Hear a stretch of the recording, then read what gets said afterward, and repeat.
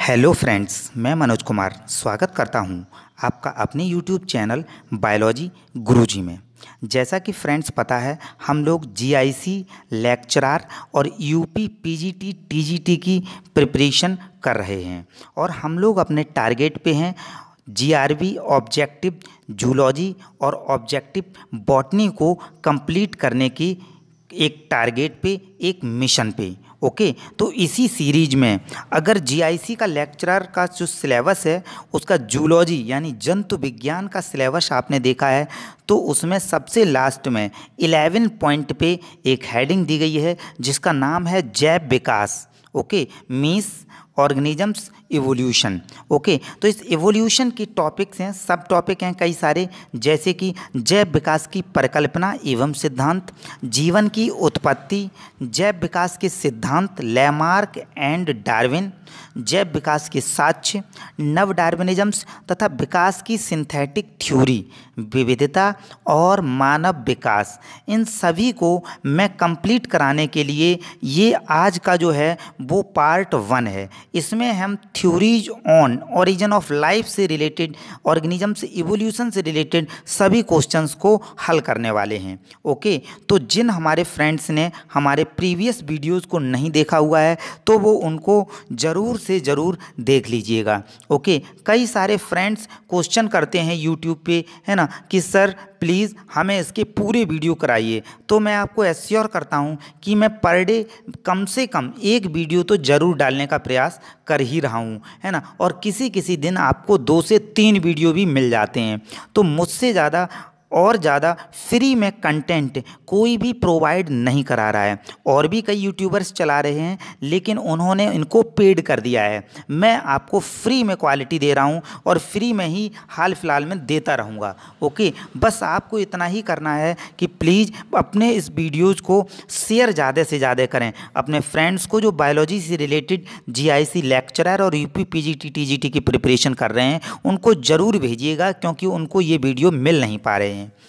Okay तो please चलो, हम बढ़ते हैं अपने अगले टारगेट की तरफ़ और देखिएगा, ज़्यादा से ज़्यादा सब्सक्राइबर बढ़ाइएगा कमेंट और शेयर ज़रूर कीजिएगा, ओके? तो ये बहुत ही इंपॉर्टेंट टॉपिक है और इससे बहुत छोटे छोटे और सिंपल से क्वेश्चन आते हैं। ज़्यादा एक्सप्लेनेशन वाला नहीं होता है इसमें, लेकिन फिर भी क्वेश्चन तो क्वेश्चन है, हमें रिवीजन तो करने ही पड़ेंगे। तो देखिएगा, पहला क्वेश्चन जो है, वो आज का हो जाता है, अबायोजेनेसिस मीन्स। अबायोजेनेसिस मीन्स होता है? अब आपको खुद ही देख के यहाँ पे क्लियर हो रहा होगा कि कितनी बार ये क्वेश्चन आ चुका है। बीएचयू में आ चुका है सीपीएमटी में आ चुका है केरला में पीएमटी में आ चुका है 2003, 4, 5 इन सभी जगह लगातार ये क्वेश्चन रिपीट हुआ है। रिपीटिशन जो है वो क्वेश्चन का चलता है है ना? तो हम उनको इतनी बार रीड कर लेंगे इतनी बार रिवाइज कर लेंगे कि हमें अपने आप वो तैयार हो जाएँगे। ओके तो अबायोजेनेसिस मीन्स क्या होता है? स्पॉन्टेनियस जेनरेशन और इसका बी ऑप्शन क्या है? Origin of viruses and microbes option C क्या है? Origin of life from living organisms option D क्या है? Origin of life from non living organisms okay तो देखिएगा, इसका राइट right आंसर जो है, वो ऑप्शन ए हो जाएगा। ऑप्शन ए इसका राइट right आंसर हो जाएगा स्पॉन्टेनियस जेनरेशन ओके अब आयोजेनेसिस मीन्स होता है स्पॉन्टेनियस जेनरेशन थ्योरी ओके बढ़ते हैं हम अपने अगले क्वेश्चन की तरफ़।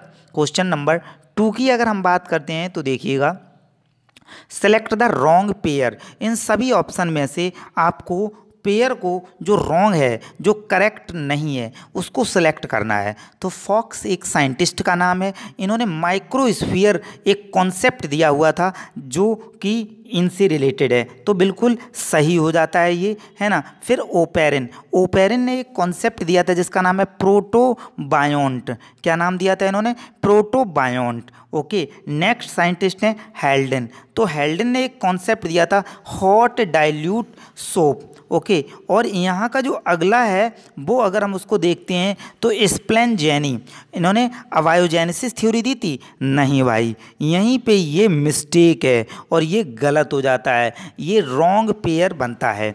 क्यों बनता है रॉन्ग पेयर फिर स्प्लेन जैनी ने क्या दिया था? देखो भाई, अब अबायोजेनेसिस की अगर हम बात करें तो साइंटिस्ट जो थे, वो वैन हेलमोंट ने इसको दिया हुआ था। वैन हेलमोंट भी इससे रिलेटेड थे। कई सारे साइंटिस्ट रिलेटेड होते हैं और जो है जो स्प्लेंजेनी थे, ये बायोजेनेसिस से रिलेटेड थे। किससे रिलेटेड थे?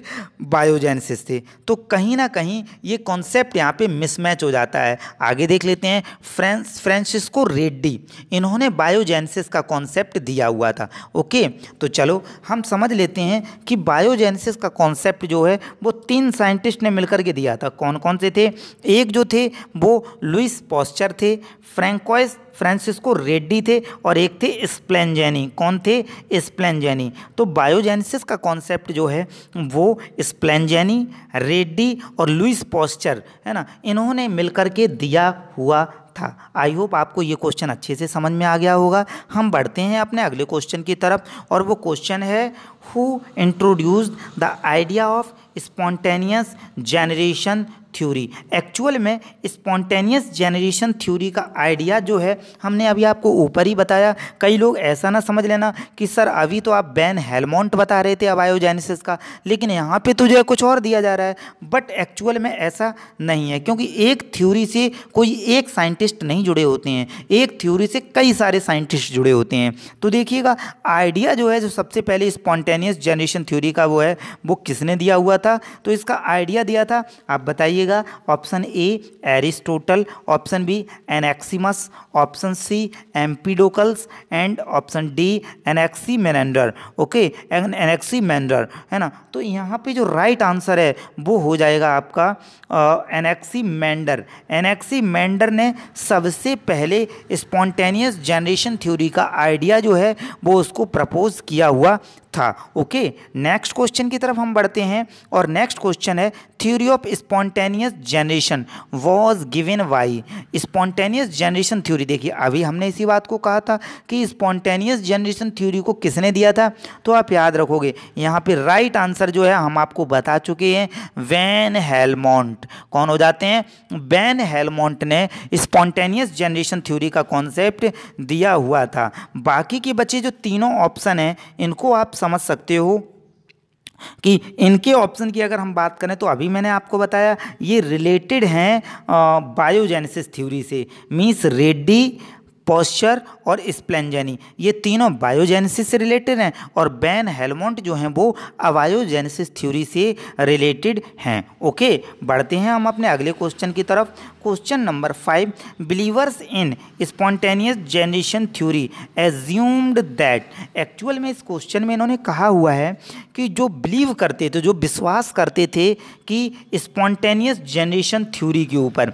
स्पॉन्टेनियस जनरेशन क्या थी? ये अबायोजेनेसिस थ्योरी का एनदर नेम है। किसका एनदर नेम है ये? अबायोजेनेसिस थ्योरी का एनदर नेम है। Spontaneous generation theory. मीन्स स्वतः होने वाली उत्पत्ति। अपने आप जो जनरेशन जो है स्वतः उत्पत्ति हुई है। कहीं ना कहीं से, है ना, मिट्टी से अपने आप चूहे बन गए होंगे। इस तरह से इनका कॉन्सेप्ट था, है ना? तो ये कंडीशन जो है, वो क्या प्रूव करती है? तो देखिएगा बिलीवर्स जो थे, वो क्या मानते थे? Organisms always arise from air ऐसा इन्होंने कहा हुआ है।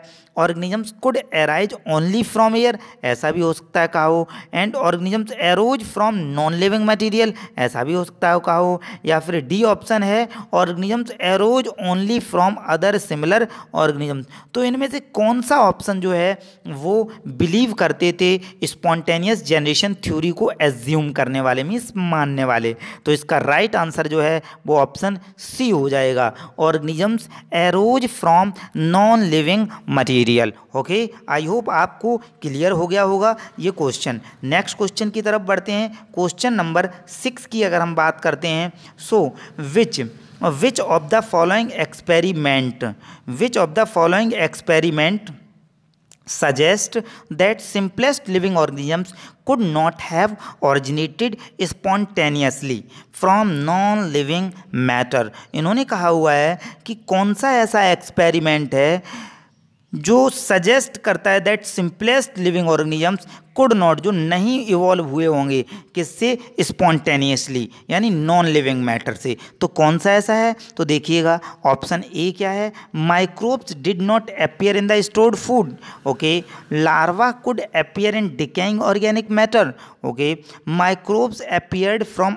unsterilised organic matter okay option D meat was not spoiled when heated and kept sealer vessels यानी सील्ड वेसल्स में अगर मीट को रखा जाए तो वो स्पॉइल्ड नहीं हो रही थी, वो सड़ नहीं रही थी। उसमें कोई भी ऑर्गेनिजम्स प्रोड्यूस नहीं हो रहा था। तो ये चारों ऑप्शंस जो हैं, मैंने आपको एक्सप्लेन किए हैं। तो आपके अकॉर्डिंग कौन सा होगा, है ना? अपना, आप एज्यूम करते रहिएगा, लगाते रहिएगा। और अब देखिए, मैं इसका राइट आंसर बता रहा हूँ। तो ऑप्शन डी जो है, वही इसका राइट आंसर है। अगर मीट को स्पॉइल्ड होने से बचाना है तो उसको हीट करके और पूरी तरह से सील्ड पैक अगर हम उसको कर देंगे जार में रख देंगे तो वो कभी भी स्पॉयल नहीं होगी। ये कहा गया है। ओके? बढ़ते हैं हम इसमें। अगले कॉन्सेप्ट पे swan necked flask experiment was done by इन्होंने कहा है कि जो स्वान नेक्ड फ्लास्क एक्सपेरिमेंट था, वो किसने दिया था? देखो फ्रेंड्स एक्चुअल में ये स्वान नेक फ्लास्क एक्सपेरिमेंट बहुत ही इंपॉर्टेंट है। बहुत ज़्यादा इंपॉर्टेंट है। इसका वीडियो और मैं अपने अगले में, है ना, इसकी इमेज अगर आपको इसकी इमेज चाहिए तो मेरा जो ग्रुप है, जो हमने टेलीग्राम पे बनाया हुआ है इसके डिस्क्रिप्शन में आपको इसका ग्रुप मिल जाएगा लिंक मिल जाएगा, उसको ज़रूर ज्वाइन कर लीजिएगा। जो इस तरह के होते हैं, जिनके माइंड में क्वेश्चन उठते रहते हैं, है ना, कि आखिरकार ये स्वान नेक फ्लास्क क्या रहा होगा? तो अगर उन्हें गूगल पे सर्च नहीं वो कर सकते हैं, है ना, वो सीधा चाहते हैं तो मैं उनके लिए भी मैंने इसको सुविधा दी हुई है। आप मेरे टेलीग्राम चैनल पर जुड़े रहिएगा। मैं उन जो टॉपिक वीडियो बना रहा हूँ, उनसे रिलेटेड फ़ोटोज़ भी अपलोड करता रहूँगा। ओके तो यहाँ पे देखिएगा, स्वान नेस्क फ्लास्क एक्सपेरिमेंट जो है वो लुइस पॉस्चर ने किया था। किसने किया था? लुइस पॉस्चर ने इसको किया हुआ था। ओके? आई होप आपको राइट आंसर मिल गया होगा। नेक्स्ट क्वेश्चन की तरफ़ बढ़ते हैं। Who said that organisms develop from pre existing organisms ऐसा किसने कहा था? ओके? okay, तो ये कहा था एरिस्टोटल ने अलेक्जेंडर ओपेरिन ने लुइस पॉस्चर ने थॉमस हंट मॉर्गन ने तो ये कहा था लुइस पॉस्चर ने कहा था। किसने कहा था? लुइस पॉस्चर ने कहा था। ओके देखो अगर हम इस क्वेश्चन से थोड़ा सा और सीखने की कोशिश करें तो देखिएगा एरिस्टोटल को ही हम फादर ऑफ़ बायोलॉजी और फादर ऑफ़ जूलॉजी भी बोलते हैं। क्लियर हो गया होगा आपको? Thomas Hunt Morgan T H Morgan है ना? मॉर्गन आप समझ लो जेनेटिक्स की तरह जिस तरह से मेंडल का नाम है ना उसी तरह से मॉर्गन का नाम भी, भी है। मॉर्गन ने अपने एक्सपेरिमेंट ड्रोसोफिला मेलोनोवास्टर जिसका कॉमन नेम फ्रूट फ्लाई है उसके ऊपर अपनी रिसर्च की हुई थी। ओके?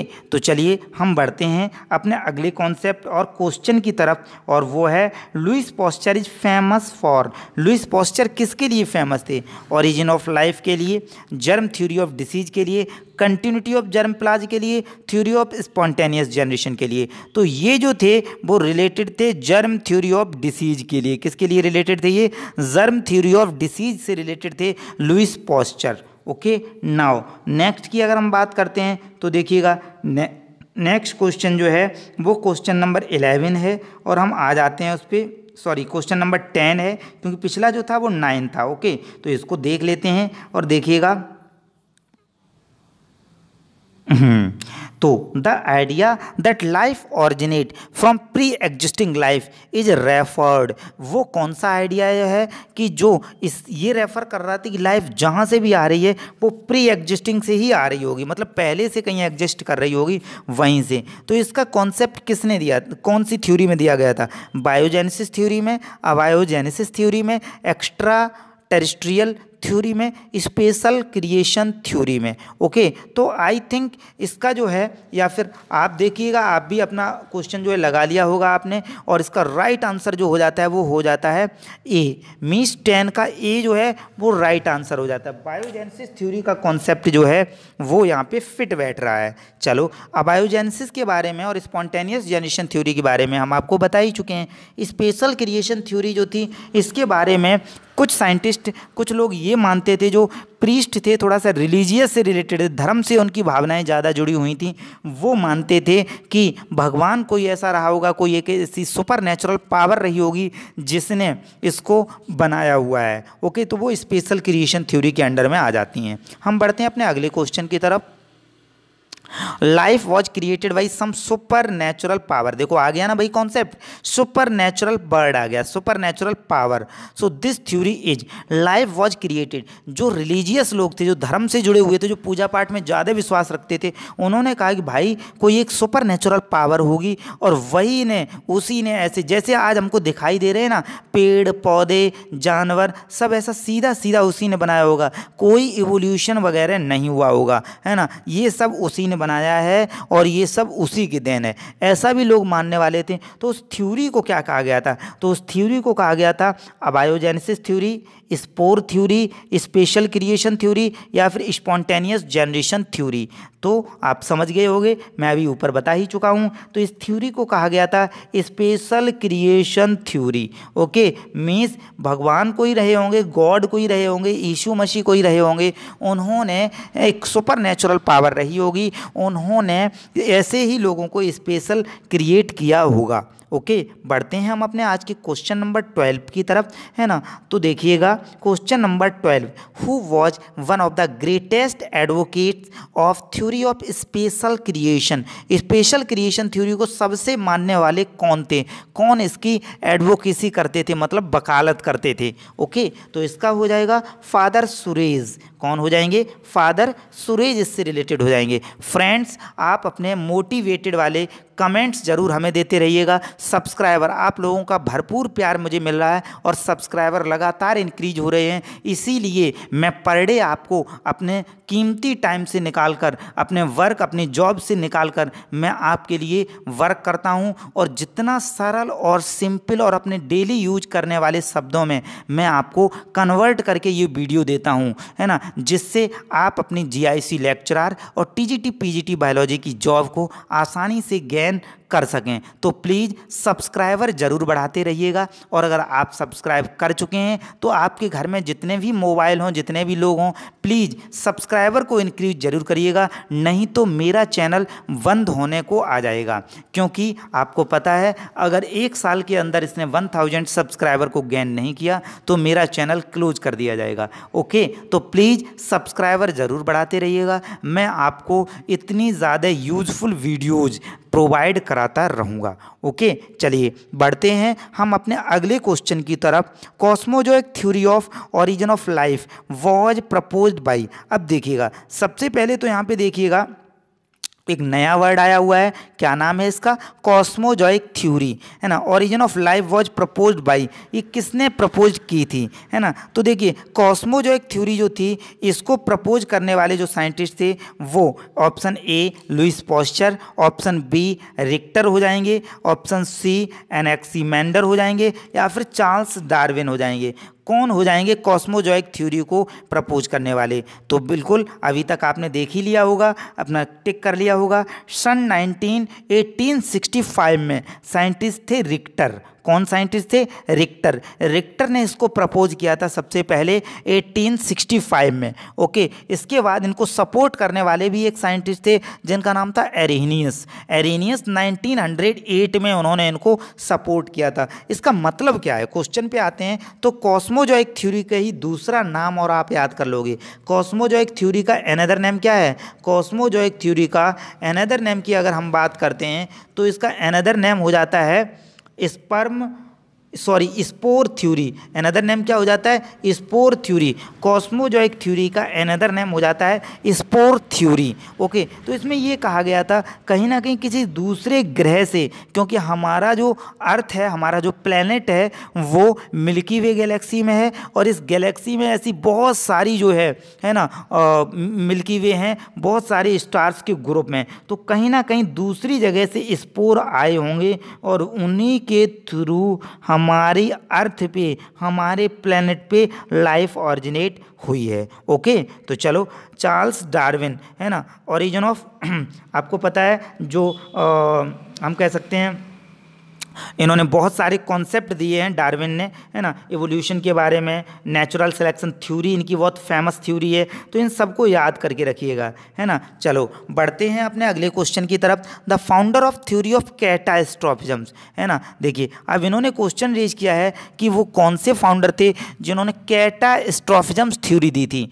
तो इसके फाउंडर जो थे, वो क्यूबियर थे। कौन थे? क्यूबियर है ना? क्यूबियर ने कैटास्ट्रॉफिज्म देखो कैटा सी से स्टार्ट होता है कैटास्ट्रॉफिज्म और सी से स्टार्ट होता है क्यूबियर तो कैटास्ट्रॉफिज्म की थ्योरी किसने दी थी? क्यूबियर ने दी थी। ओके ये याद रखोगे। कब दी थी ये? है ना? देखो इन्हें क्यूबियर को ही the father of modern palaeontology भी कहा जाता है। है ना? जॉर्ज क्यूबियर को ही फादर ऑफ़ मॉडर्न पैलियोंटोलॉजी भी कहा जाता है। ओके चलिए नेक्स्ट क्वेश्चन की तरफ़ हम बढ़ते हैं। So the age of big bang is likely to be the order of जो age of big bang big bang theory को ओरिजिन ऑफ़ अर्थ जो अर्थ पे लाइफ का ओरिजिन हुआ है, ये बिग बैंग थ्योरी की देन बोला जाता है। एक ट्रिमेंडस अमाउंट ऑफ़ एक्सप्लोजन हुआ था, बहुत ही अनइमेजिनेबल एक एक्सप्लोजन हुआ था, विस्फोट हुआ था, उसी के परिणाम स्वरूप, है ना, हमारी अर्थ का फॉर्मेशन हुआ होगा, ऐसा कहा गया था बिग बैंग थ्योरी के अंडर में, ओके? तो इसका इन्होंने कहा है likely to be the order of age क्या, कब हुआ होगा ये? तो ten to ten to the power ten years ten to the power ten years before हुआ होगा। ओके चलो, बढ़ते हैं हम अपने अगले क्वेश्चन की तरफ़। क्वेश्चन नंबर सिक्सटीन को देखते हैं। About how long ago was the earth formed कितने समय पहले अर्थ बनी होगी? देखो, इस यूनिवर्स का एक्चुअल में ध्यान दीजिएगा, है ना? ऊपर शायद मैंने ओनली अर्थ बोला हुआ है, क्योंकि अर्थ का फॉर्मेशन कब होगा? जब पूरा ये यूनिवर्स बन जाएगा मतलब ब्रह्मांड बन जाएगा। तो जो बिग बैंग थ्योरी है, इसका यही कहा गया था कि इससे पूरा यूनिवर्स बनाया पूरा ब्रह्मांड बना है और उसी ब्रह्मांड के अंदर ही तो बहुत सारी गैलेक्सीज बनी थी और उन्हीं गैलेक्सीज के अंदर एक गैलेक्सी है, जिसका नाम है मिल्की वे गैलेक्सी। और उसी मिल्की वे गैलेक्सी में एक सोलर सिस्टम है है ना, जो कि हमारा सोलर सिस्टम कहा जाता है, जो कि सन के चारों तरफ़ जो है बहुत सारे प्लैनेट जो है वो राउंड करते हुए, है ना सर्किल में घूम रहे हैं। ओके तो इतना कॉन्सेप्ट था बिग बैंग थ्योरी का। तो इन्होंने कहा है कि अर्थ का फॉर्म कब हुआ था? अर्थ का फॉर्मेशन हुआ था 4.6 billion years ago okay earth का फॉर्मेशन कब हुआ था? 4.6 बिलियन ईयर्स एगो ओके चलो, बढ़ते हैं हम अपने आज के। देखो, अब यहाँ पे ओरिजिन ऑफ़ लाइफ के देखो, आपको याद होगा, हमने इसको जब शुरुआत किया था तो देखिएगा, ये लिखा हुआ origin on theories on origin of life ये सभी जो है ओरिजिन ऑफ़ लाइफ से रिलेटेड थ्योरीज थी, है ना? तो इनको हमने डिस्कस किया हुआ है अभी तक, और अब जो हम क्वेश्चंस रेज करने वाले हैं, वो हम रेज करने वाले हैं, एक साइंटिस्ट थे, जिनका नाम था Oparin and Haldane Oparin and Haldane उनके ऊपर जो भी क्वेश्चंस बनते हैं, उनसे रिलेटेड ओके तो देखिएगा ओपेरन एंड हेल्डन जो हैं, वो अपने आप में इनकी थ्योरी जो है, बहुत ही ज़्यादा फ़ेमस है। इनकी एक अच्छी सी ट्रिक हम बताएँ आपको। तो देखिएगा, यहाँ पे एक अच्छी सी ट्रिक जो है, वो आपके लिए हो जाती है ही रो तू मेरा हीरो गाना सुना है ना? तो चलो, समझो, उस हीरो वर्ड से हम यहाँ पे कुछ याद करना चाह रहे हैं आपको। तो देखिएगा एच फॉर हो जाते हैं हेल्डन एच फॉर कौन है? हेल्डन और ओ फॉर कौन हो जाते हैं? ओ पैरन अब बात ये जाती है हेल्डन कहाँ के रहने वाले थे? तो इंग्लैंड के रहने वाले थे। और ओ पैरन कहाँ के रहने वाले थे? तो ये रसिया के रहने वाले थे। तो आप हीरो वर्ड से इन तीनों, इनको याद कर सकते हो कि हेल्डन जो थे, वो इंग्लैंड के रहने वाले थे और ओ पैरन कहाँ के रहने वाले थे? रसिया के। कई बार ऐसे भी क्वेश्चंस आ जाते हैं। ओके चलो, बढ़ते हैं हम अपने अगले क्वेश्चन की तरफ़। क्या क्वेश्चन है? पहला क्वेश्चन मीन सेवनटीन क्वेश्चन देखते हैं इस वीडियो का। The hypothesis that the early atmosphere combined with an energy sources, produced organic monomer was developed. ये ऐसी हाइपोथेसिस किसने दी थी कि ऑर्गेनिक मॉलिकुलर के थ्रू ही डेवलपमेंट हुआ होगा 1920 में? तो बिल्कुल, अभी हम आपको बता चुके हैं जो कि हमारी हेडिंग का नाम ही है ओपेरन एंड हेल्डन ओके देखो, इन सभी के नाम आप पढ़ लिया करो। क्यों? क्योंकि एक्चुअल में ये सभी साइंटिस्ट कहीं ना कहीं किसी ना किसी थ्योरी से अटैच्ड होते हैं। अगर आप इनको पढ़ लेते हो तो इनके से रिलेटेड जो क्वेश्चंस होते हैं, वो याद करने में हमें आसानी रहती है। ओके तो देखिएगा।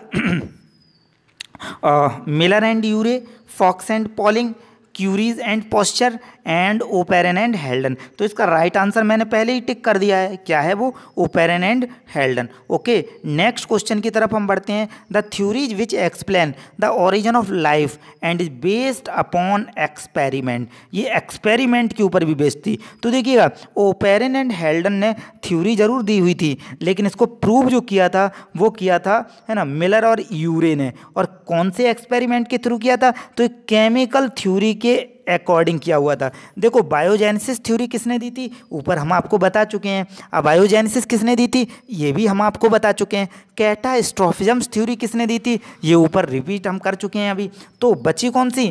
केमिकल थ्योरी तो लाइफ का जो ऑरिजिनेशन हुआ है कहीं ना कहीं, वो केमिकल थ्योरी के थ्रू ही हुआ होगा। ओके बढ़ते हैं। नेक्स्ट क्वेश्चन की तरफ़। The concept of chemical evolution is based on ये किसके ऊपर बेस्ड था? केमिकल इवोल्यूशन का जो कॉन्सेप्ट था, ये किसके ऊपर बेस्ड था? इसकी बात इस क्वेश्चन में पूछी गई है। ओके तो देखिएगा। Possible origin of life by combination of chemical under suitable environmental condition ये हो गया ऑप्शन ए हो गया। चलो ऑप्शन बी को भी देखते हैं। Interaction of water air and clay under intense heat ना भाई, ये तो नहीं फिट बैठ रहा है। Effect of solar radiation on chemical ना भाई, अकेला सोलर रेडिएशन का कोई इफ़ेक्ट थोड़ी था केमिकल के ऊपर। क्रिस्टलाइजेशन ऑफ़ केमिकल नहीं। केमिकल्स का क्रिस्टलाइजेशन होने से कैसे काम चल पाएगा? तो इसका जो सबसे एक्यूरेट आंसर है, वो है ऑप्शन ए मैं एक बार फिर रीड करता हूँ इसको। Possible origin of life by combination of chemical under suitable environmental condition okay चलो, बढ़ते हैं हम अपने अगले क्वेश्चन की तरफ़। क्वेश्चन नंबर ट्वेंटी और क्वेश्चन नंबर ट्वेंटी क्या हो जाता है? Chemical theory of origin of life was given by तो ये किसने दी थी? तो ये जो थ्योरी दी थी, वो दी थी। थ्योरी की बात हो रही है यहाँ पे देखो साफ़ साफ़ लिखा गया है। इस बात को ध्यान से समझना। थ्योरी की है तो ये हो जाएगी ओपेरन एंड हेल्डन ने दी थी। किसने दी थी? ओपेरन एंड हेल्डन ने। ओके चलो भाई, अब देखिएगा क्वेश्चन नंबर ट्वेंटी वन है। According to Oparin which one of the following was not not present in the primitive atmosphere अब ये क्वेश्चन कई सारे स्टूडेंट का गलत हो जाता है क्यों? क्योंकि ऑप्शन में जैसे ही वो देखते हैं oxygen methane hydrogen water vapour तो उन्हें आज की सिचुएशन याद आ जाती है। उन्हें लगता है कि भैया ऑक्सीजन के बिना कैसे काम चल पाएगा? ऑक्सीजन तो बहुत इंपॉर्टेंट है। और अगर ऑक्सीजन ही प्रेजेंट नहीं होगी तो फिर लाइफ कैसे ऑरिजिनेट हो सकती है? ना भाई, ऐसा नहीं होता है। एक्चुअल में, शुरुआती कंडीशन में, हमारे एटमोसफियर में ऑक्सीजन नहीं थी। यही इसका राइट आंसर है। तो ऑक्सीजन जो थी वो एबसेंट थी। बाकी मीथेन हाइड्रोजन और वाटर वेपर थी प्रेजेंट चलो, इससे रिलेटेड हम आपको एक ट्रिक बताते हैं। एम ए एच महा करके याद कर सकते हो आप, महा। एम ए एच मतलब मीथेन अमोनिया और हाइड्रोजन ये तीन ही गैस रही थी। और इनका रेशियो भी कई बार पूछा जाता है। तो देख लो आप अच्छे से, समझ लो रेशियो क्या था इनका। टू, देखो, हम आपको दोबारा लिख रहे हैं, ध्यान देना।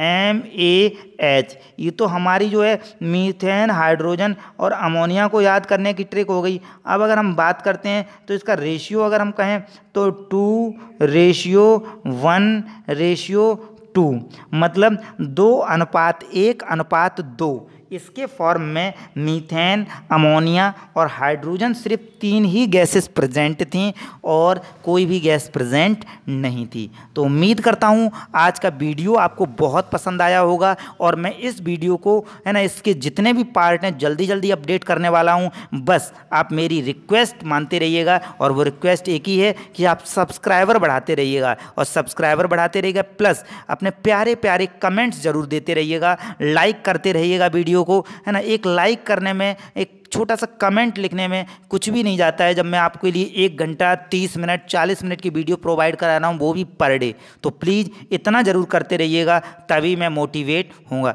है ना? अगर आपको सफलता पानी है है ना? तो आपको मेरे साथ भी रहना होगा और आपको मैं प्रॉमिस करता हूँ, बहुत सारे वीडियोज़ प्रोवाइड कराने वाला हूँ। ओके तो चलो, मिलते हैं अगले वीडियो में। तब तक प्लीज़ सब्सक्राइबर ज़रूर बढ़ाते रहिए। आपने अपना कर चुके हैं तो आपके घर में जितने भी मोबाइल हों प्लीज़ प्लीज़ उन सबसे सब्सक्राइबर ज़रूर बढ़ाइएगा। मिलते हैं अगले वीडियो में। नमस्कार।